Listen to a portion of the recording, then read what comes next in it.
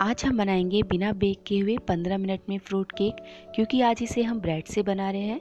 सबसे पहले हम ब्रेड की किनारियों को काट कर अलग कर लेंगे, और इसे फेंके नहीं, आप इसे सुखाकर ब्रेड क्रम बना सकते हैं। और ध्यान रखिए, जो आप ब्रेड लेंगे वो फ्रेश ही लें। इसी तरीके से सारी ब्रेड काट कर रख लें। अब एक प्लेट लेंगे और सेंटर में लगा देंगे विपिंग क्रीम विपिंग क्रीम को मैंने पहले ही बनाकर तैयार कर लिया था। एक कप विपिंग क्रीम और उसे इलेक्ट्रिक बीटर से बीट करके रख लिया था।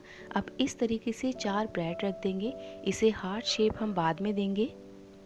इस तरीके से चारों ब्रेडों को सेट कर दें प्लेट पे एक कप दूध में तीन चम्मच चीनी को मैंने घोल लिया था और इस तरीके से बॉटल में डाल लिया।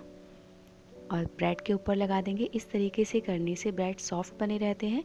पानी का इस्तेमाल इसमें ना करें, दूध का ही करें। अब इसके ऊपर विपिंग क्रीम लगा देंगे। चारों तरफ़ अच्छे से लगा दें।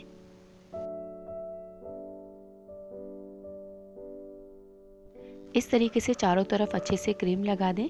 क्रीम लगाने के बाद कुछ हम फ्रूट ऐड करेंगे। तो मैंने यहाँ अंगूर लिया है। अंगूर को अच्छे से धो लिया। धोने के बाद एक अंगूर को बीच में से काट कर लें। तो मैंने काट लिया है और इस तरीके से इसे फैला देंगे चारों तरफ़। इसके बाद हम दूसरी लेयर रखेंगे ब्रेड की। और इसको भी सेम तरीके से हम इसके ऊपर दूध लगाएँगे ताकि ये सॉफ्ट बने रहे। दूध लगाने के बाद इसके ऊपर क्रीम लगाएँगे।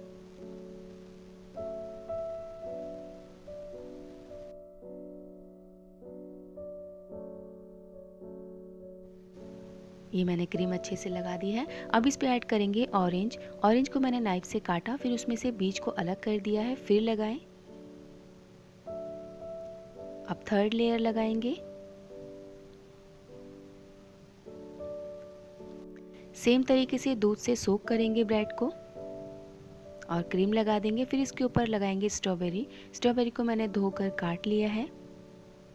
इस तरीके से लगा दें। स्ट्रॉबेरी लगाने के बाद इस पर हम फोर्थ लेयर रखेंगे और सेम तरीके से दूध से सोक करेंगे। अब फाइनल इस पर हम क्रीम नहीं लगाएँगे, इसको हार्ट शेप देंगे। एक पेपर को मैंने हार्ट शेप दिया था, अब इस तरीके से हम ब्रेड के ऊपर रखेंगे। पहले केक के ऊपर इस पेपर को सेट कर लें, फिर इस तरीके से नाइफ से काट लें इसे। जो आप नाइफ लें, वो थोड़ा पैना होना चाहिए। सावधानी से इसे काट लें और जो ये ब्रेड की जो साइड बची हुई है, ये वेस्ट नहीं है, आप इसे खा सकते हैं। इस तरीके से काट लें। नाइफ से काटने के बाद साइड की ब्रेड को हम हटा देंगे, कुछ इस तरीके से। अब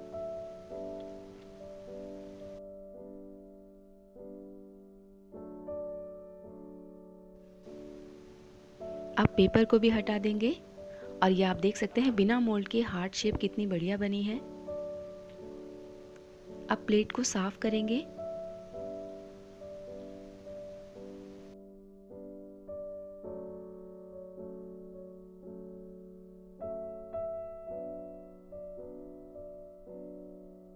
एक पाइपिंग बैग में मैंने विपिंग क्रीम को डाल लिया है। अब इस तरीके से हम इसको हार्ड शेप देते हुए इसके ऊपर क्रीम लगाएँगे।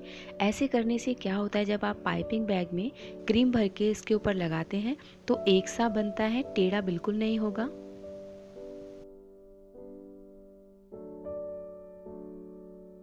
चारों तरफ़ से इसी तरीके से हम पाइपिंग बैग से क्रीम लगा देंगे इसके ऊपर।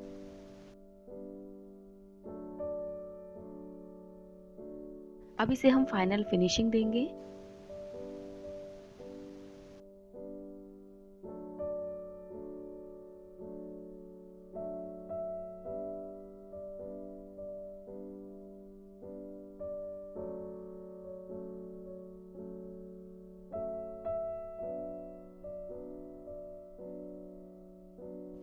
फाइनल फिनिशिंग के बाद आप देख सकते हैं ये कितना सुंदर लग रहा है।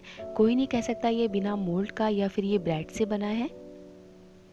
अब मैंने लिया है एक चम्मच न्यूट्रल जेल इसमें डालेंगे एक चम्मच पानी और दोनों को मिक्स कर लेंगे। मिक्स करने के बाद इसमें डालेंगे दो तीन ड्रॉप रेड जेल कलर आप चाहे तो कोई दूसरा कलर भी ले सकते हैं। अच्छे से मिक्स कर लें। मिक्स करने के बाद इसे एक पाइपिंग बैग में डाल लेंगे।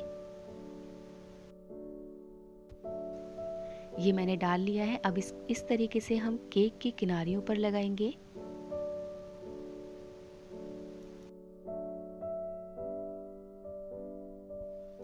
मैंने कुछ इस तरीके से डिज़ाइन बनाया। आप चाहे तो इसे पूरा रेड कर सकते हैं। इसे 10 मिनट के लिए फ्रिज में रखेंगे और बाकी जो क्रीम बची है, इसमें डालेंगे रेड जेल कलर दो तीन ड्रॉप। डालने के बाद इसे अच्छे से मिक्स कर लें और एक पाइपिंग बैग में डाल लें। पाइपिंग बैग में डालने के बाद इससे हम रेड रोज़ बनाएँगे। इस पर लाइट पड़ रही है, इसलिए रेड कलर दिखाई नहीं दे रहा।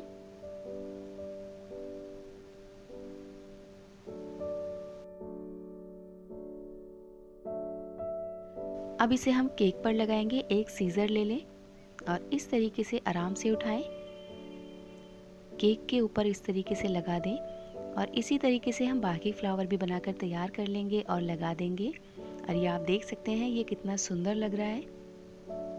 अगर आप मेरे चैनल पर नए हैं तो प्लीज़ मेरे चैनल को सब्सक्राइब करें। वीडियो अच्छी लगती है तो अपनी फैमिली और दोस्तों के साथ शेयर करें। अब इसके ऊपर लीफ बना देंगे इस तरीके से।